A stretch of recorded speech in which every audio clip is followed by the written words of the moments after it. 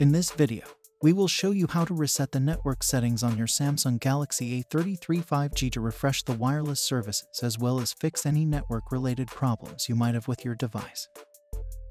To begin, pull up the Apps drawer and tap Settings. Scroll all the way down and then tap General Management. Tap Reset to view all the reset options on your phone. Select Reset Network Settings. Tap Reset Settings to proceed.